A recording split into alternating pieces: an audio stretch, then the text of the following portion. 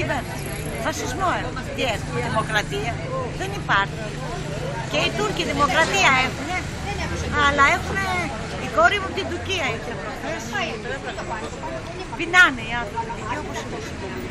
Αθλειότητα. Πρέπει να σηκωθεί ο κόσμος, να βγούμε όλοι μαζί στον δρόμο. Διαφορετικά δεν παίζει. Γενικά το μέλλον πώς το βλέπετε, δηλαδή τι...